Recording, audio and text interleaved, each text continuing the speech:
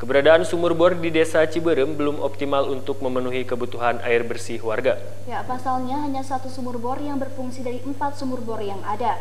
Tiga sumur bor lainnya masih dalam perbaikan perangkat. Datangnya musim kemarau menimbulkan permasalahan bagi warga desa Ciberem, Kecamatan Banjar.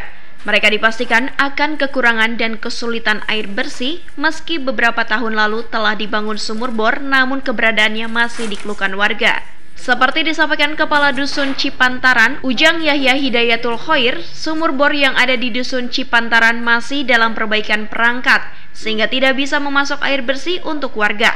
Ujang Yahya menjelaskan sumur bor yang tersebar di empat titik hanya satu sumur bor yang bisa berfungsi dengan baik.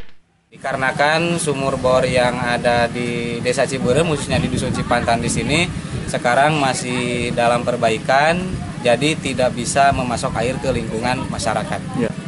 dari tahun kemarin sudah diperbaiki dari tahun kemarin, tetapi masih dalam sekarang tetap masih ada kendala-kendala di antaranya mesinnya dan yang lainnya. Sumur bor untuk di dusun Cipantaran ada satu titik, kalau untuk satu desa ada empat titik lima dusun tapi baru ada empat titik yang ada di desa Ciberem. Dari yang empat titik di desa Ciberem ini baru hanya satu titik yang bisa optimal melaksanakan pengairan ke wilayah masyarakat.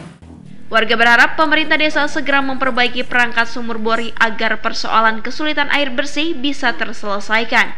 Dari Kota Banjar, Sukirman Radar TV melaporkan.